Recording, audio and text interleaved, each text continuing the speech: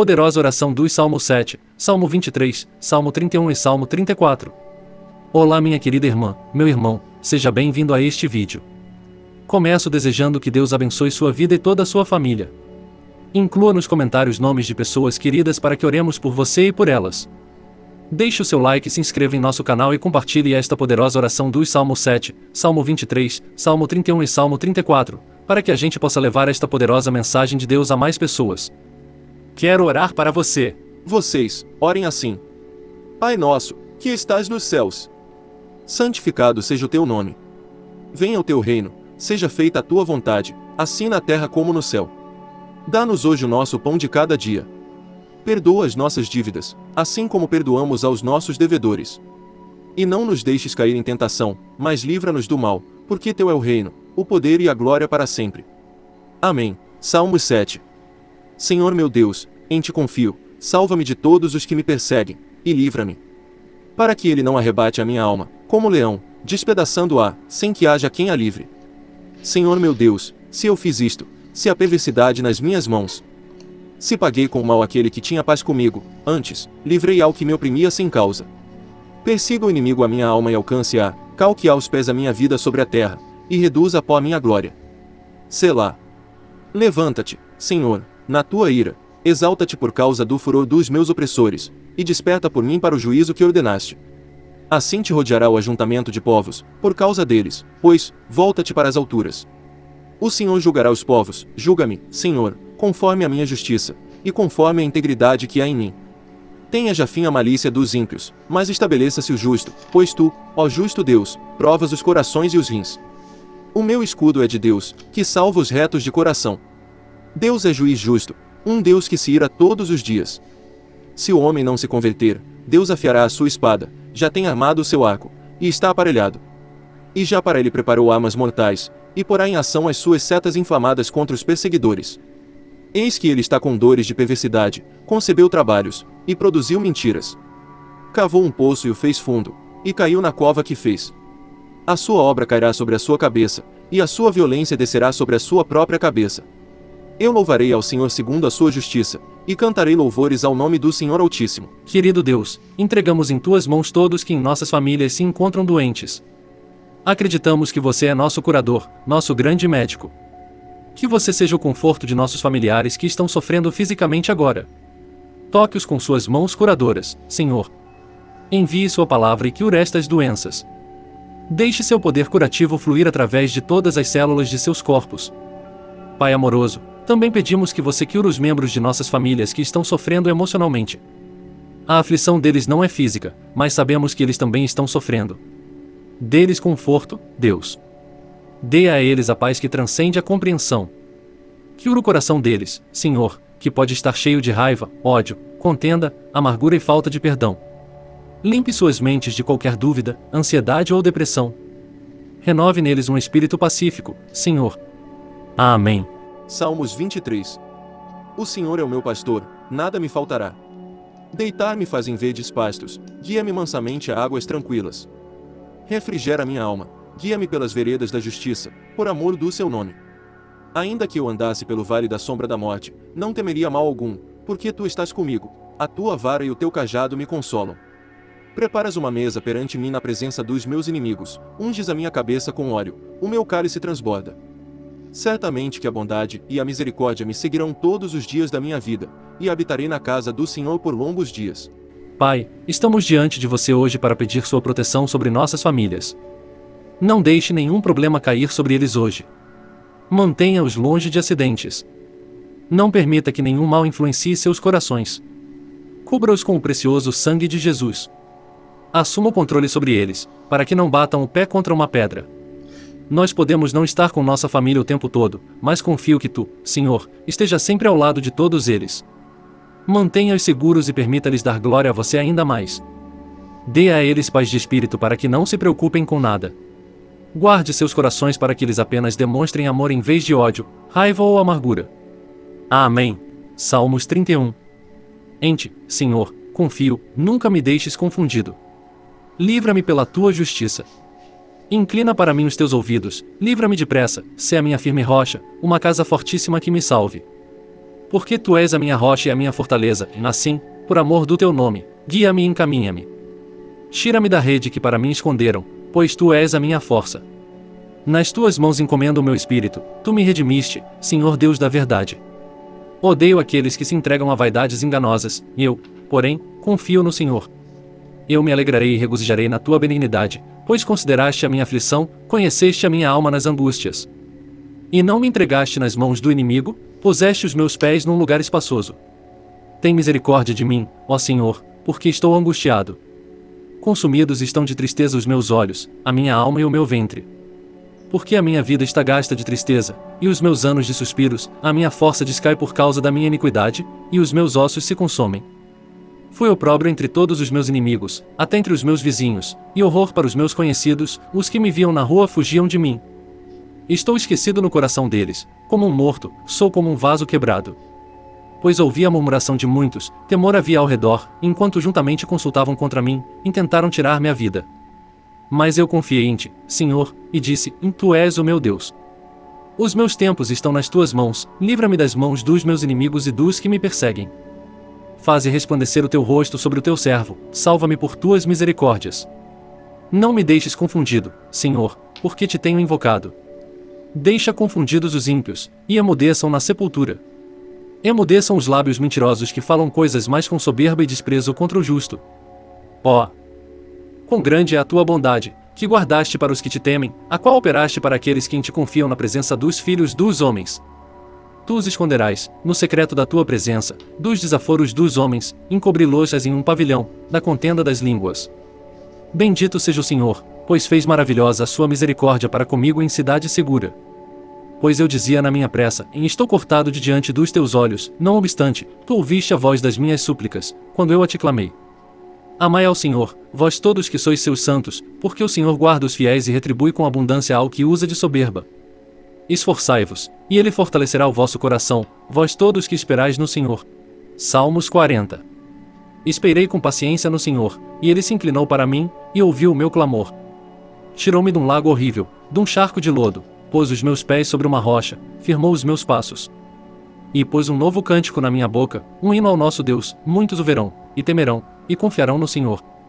Bem-aventurado o homem que põe no Senhor a sua confiança, e que não respeita os soberbos nem os que se desviam para a mentira. Muitas são, Senhor meu Deus, as maravilhas que tens operado para conosco, e os teus pensamentos não se podem contar diante de ti. Se eu os quiser anunciar, e deles falar, são mais do que se podem contar. Sacrifício e oferta não quiseste, os meus ouvidos abriste, o holocausto e expiação pelo pecado não reclamaste. Então disse: E eis aqui venho, no rolo do livro de mim está escrito. Deleito-me em fazer a tua vontade, ó Deus meu, sim, a tua lei está dentro do meu coração. Preguei a justiça na grande congregação, e eis que não retive os meus lábios, Senhor, tu o sabes. Não escondi a tua justiça dentro do meu coração, apregoei a tua fidelidade e a tua salvação, não escondi da grande congregação a tua benignidade e a tua verdade. Não retires de mim, Senhor, as tuas misericórdias, guardem-me continuamente a tua benignidade e a tua verdade. Porque males sem número me têm rodeado, as minhas iniquidades me prenderam de modo que não posso olhar para cima. São mais numerosas do que os cabelos da minha cabeça, assim desfalece o meu coração.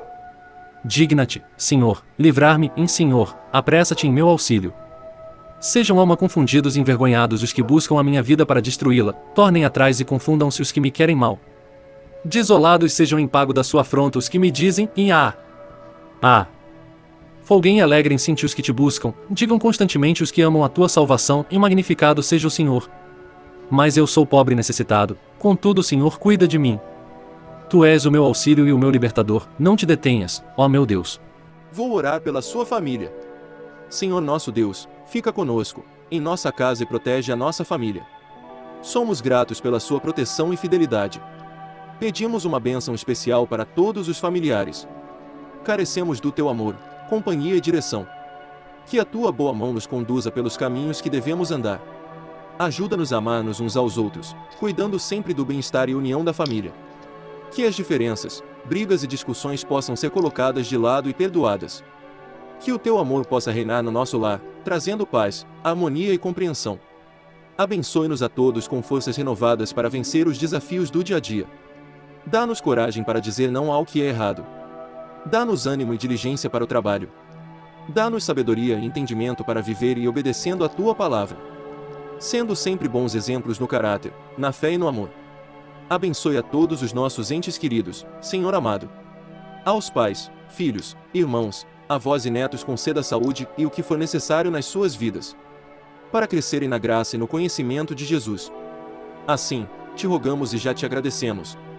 Amém. Salmos 51. Tem misericórdia de mim, ó Deus, segundo a tua benignidade, apaga as minhas transgressões, segundo a multidão das tuas misericórdias. Lava-me completamente da minha iniquidade, e purifica-me do meu pecado.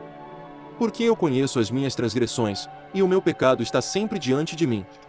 Contra ti, contra ti somente pequei, e fiz o que é mal à tua vista, para que sejas justificado quando falares, e puro quando julgares. Eis que em iniquidade fui formado, e em pecado me concebeu minha mãe. Eis que amas a verdade no íntimo, e no oculto me fazes conhecer a sabedoria. Purifica-me com esopo, e ficarei puro, lava-me, e ficarei mais branco do que a neve. Faze-me ouvir júbilo e alegria, para que gozem os ossos que tu quebraste. Esconde a tua face dos meus pecados, e apaga todas as minhas iniquidades. Cria em mim, ó Deus, um coração puro, e renova em mim um espírito reto. Não me lances fora da tua presença, e não retires de mim o teu Espírito Santo. Torna a dar-me a alegria da tua salvação, e sustém-me com um espírito voluntário. Então ensinarei aos transgressores os teus caminhos, e os pecadores a ti se converterão. Livra-me dos crimes de sangue, ó Deus, Deus da minha salvação, e a minha língua louvará altamente a tua justiça. Abre, Senhor, os meus lábios, e a minha boca entoará o teu louvor. Pois não desejas sacrifícios, senão eu os daria, tu não te deleitas em holocaustos. Os sacrifícios para Deus são o espírito quebrantado, a um coração quebrantado e contrito não desprezarás, ó Deus. Faze o bem a Sião, segundo a tua boa vontade, edifica os muros de Jerusalém.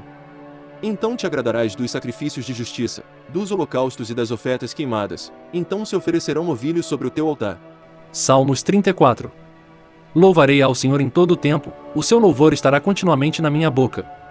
A minha alma se gloriará no Senhor, os mansos ouvirão e se alegrarão. Engrandecei ao Senhor comigo, e juntos exaltemos o seu nome. Busquei ao Senhor, e ele me respondeu, livrou-me de todos os meus temores. Olharam para ele, e foram iluminados, e os seus rostos não ficaram confundidos. Clamou este pobre, e o Senhor ouviu, e o salvou de todas as suas angústias. O anjo do Senhor acampa-se ao redor dos que o temem, e os livra. Provai, e vede que o Senhor é bom, bem-aventurado o homem que nele confia. Temei ao Senhor, vós, os seus santos, pois nada falta aos que o temem. Os filhos dos leões necessitam e sofrem fome, mas aqueles que buscam ao Senhor bem nenhum faltará. Vinde, meninos, ouvi-me, e eu vos ensinarei o temor do Senhor. Quem é o homem que deseja a vida, que quer largos dias para ver o bem? Guarda a tua língua do mal, e os teus lábios de falarem o engano. Aparta-te do mal, e faz o bem, procura a paz, e segue-a. Os olhos do Senhor estão sobre os justos, e os seus ouvidos atentos ao seu clamor. A face do Senhor está contra os que fazem o mal, para desarraigar da terra a memória deles. Os justos clamam, e o Senhor os ouve, e os livra de todas as suas angústias.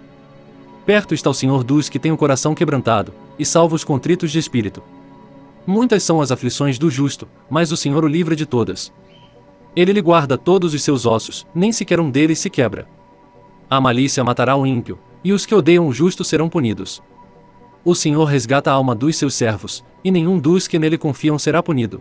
Salmos 91 Aquele que habita no esconderijo do Altíssimo, a sombra do Onipotente descansará. Direi do Senhor: Ele é o meu Deus, o meu refúgio, a minha fortaleza, e nele confiarei. Porque ele te livrará do laço do passarinheiro, e da peste perniciosa. Ele te cobrirá com as suas penas, e debaixo das suas asas te confiarás, a sua verdade será o teu escudo e broquel. Não terás medo do terror de noite nem da seta que voa de dia. Nem da peste que anda na escuridão, nem da mortandade que assola ao meio-dia. Mil cairão ao teu lado, e dez mil à tua direita, mas não chegará a ti. Somente com os teus olhos contemplarás, e verás a recompensa dos ímpios. Porque tu, ó Senhor, és o meu refúgio. No Altíssimo fizeste a tua habitação. Nenhum mal te sucederá, nem praga alguma chegará à tua tenda. Porque aos seus anjos dará ordem a teu respeito, para te guardarem em todos os teus caminhos. Eles te sustentarão nas suas mãos, para que não tropeces com o teu pé em pedra.